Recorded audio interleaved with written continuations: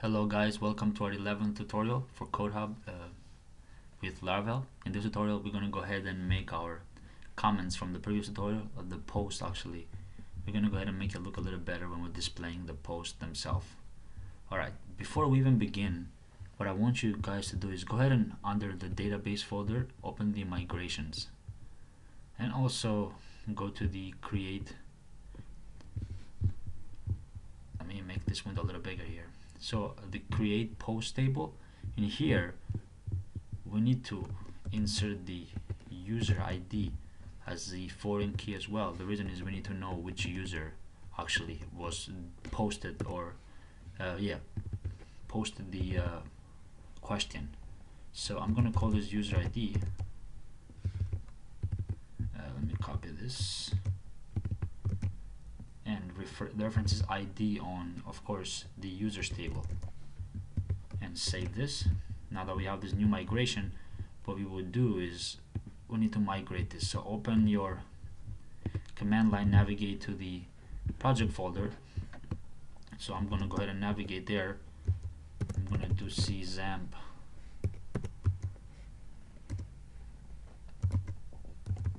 code hub. And then once I'm here what I'm gonna do is I'm gonna PHP artisan gonna roll back the existing migration. And what this will do is gonna get rid of all the other stuff that we have there. And I'm gonna migrate again. So just type PHP artisan migrate to put everything back. And now we should have the user ID in the uh, post table as well so let me go up open localhost here. Go to the database. Go to post structure. And you should see the user ID there as well. Alright. Now that we got rid of that if we refresh this page we have no post showing up. So we just we see no post found. And we don't have a user either so let me go ahead and register. And I'm gonna say just register so J Smith Gmail. And I'm gonna register and it's gonna log me in and register me. So now that I've been logged in I'm gonna go ahead and post something here. I'm gonna say anyone know to anyone know PHP and I'm gonna make a category here so since we didn't do that we need since I removed the categories from here actually because we rolled back the migration I need to insert some categories. So let me go ahead and insert some categories very quickly here. So I'm gonna insert about um, five rows. And I'm gonna do here a name PHP Java CSS HTML and CSS yeah and C++ let's do that and go. So now that I have some data for the categories let me refresh this again. I'm gonna go ahead and say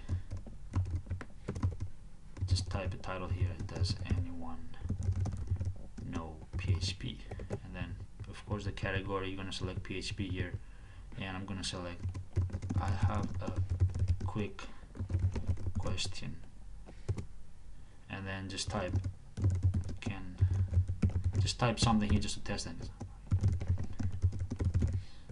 And then I'm gonna post it. And it's gonna redirect me home. Okay so we're getting an insert here. Integrity violation error update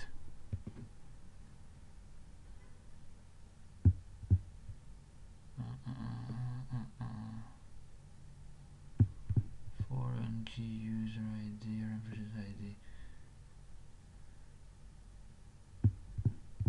Oh yes. So what this is wrong here, we need to go back to our controller here. Since we inserted the the new column in the uh, in the table in the migration in the post, we need to do that in the controller as well in order to allow them to uh, actually insert that user ID in the table itself as well. Currently, we're not doing that and we're just giving nothing and it cannot accept that since it's a foreign key it needs a valid um, ID user ID so to fix that is simple just go into our form controller here and where we're saving the post we need to save the also the user ID so to do that gotta do post. Just like we did down here and instead of category ID now you want to do the user ID and set that equal to the auth authenticated user and then his ID because he'll be the one posting. And if I go back and I save it now should work.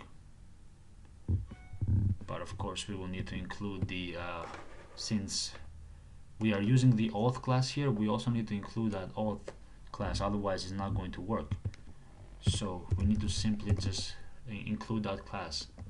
And once so it's just the illuminate path. So you need to go illuminate support facades then you need to go to the facade and include auth so we need to just include that class. So let me go back and try this one more time. And there you go. It was posted successfully. Okay so now that we have this working and it was actually it did post the tutorial. Ah sorry posted the comment. Let's go ahead and make it a little bit prettier here. But before we do that open the user model here and we need to create the relationship between the user and the post. So what we want to do here I'm going to type public function posts because a user can have many posts. And we're going to simply return this has many. So it's going to be a one-to-many relationship. A user can have many posts and a each post has to belong to a user.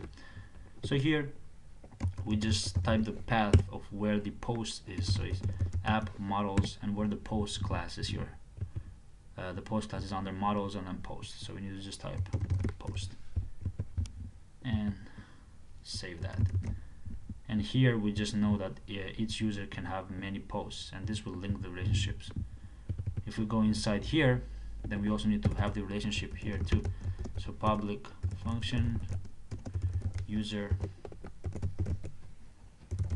let's return.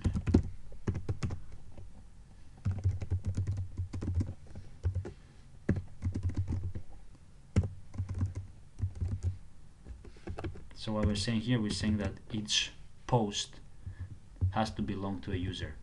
So we have a one-to-many relationship. Each user can have many posts and each post belongs to a user. So now that we have created these two relationships we can go inside here our home where we're displaying the each post and let's go ahead and make this look a little prettier. So for now I'm just going to comment this out. Actually let me just get rid of this altogether.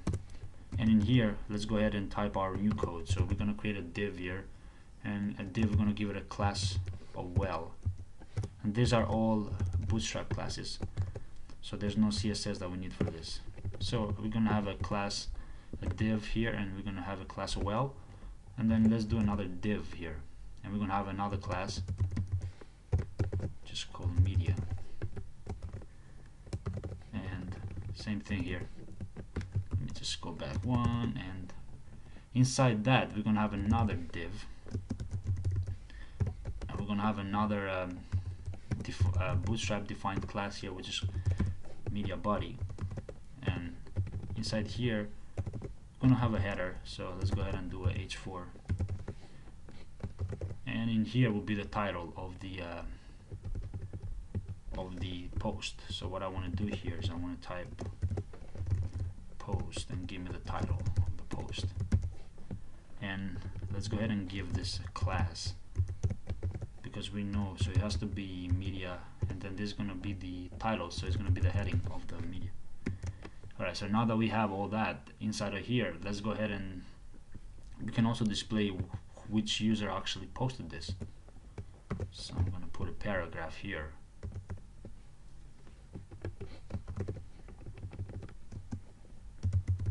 Class. And I'm just going to pull it to let's say to the right side. So you can display the username to the right side. So I'm gonna say text right. It's not a bootstrap class.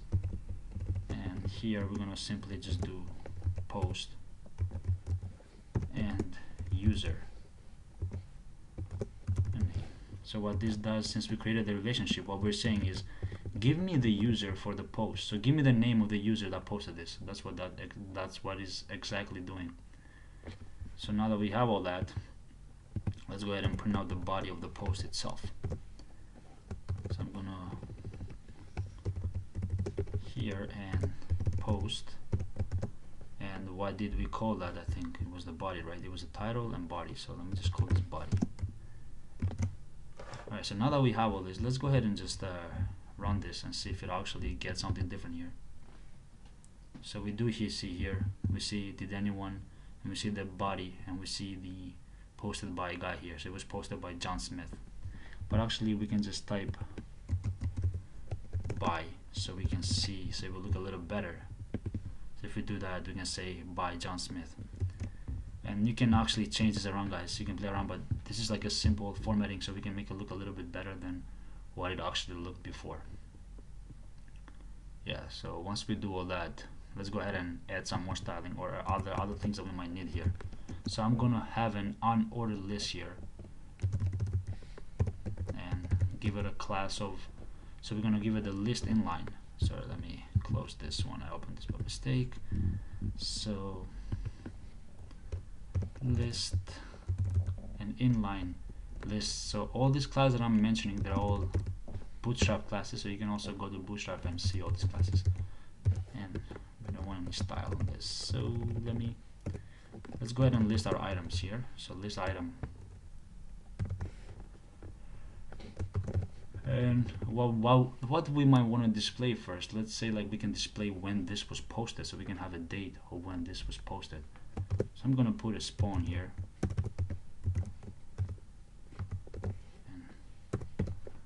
close that span.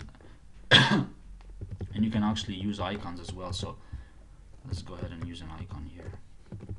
So we need to find some kind of icon that resembles time. So let's put class and and let's use glyphicon and this one you can go ahead and look at the this is also you can see in the bootstrap site. So I'm gonna do that. And let me enlarge this so you guys can see. And glyphicon and give it calendar because I guess that they have an icon for calendar and that represents time or a date or some of some sort. And here we can print out the created at date if you guys want. So when was the post when was the post inserted in our database? So we can say post and created at. And let's go ahead and refresh this so you see as you see here we see the date also pop up.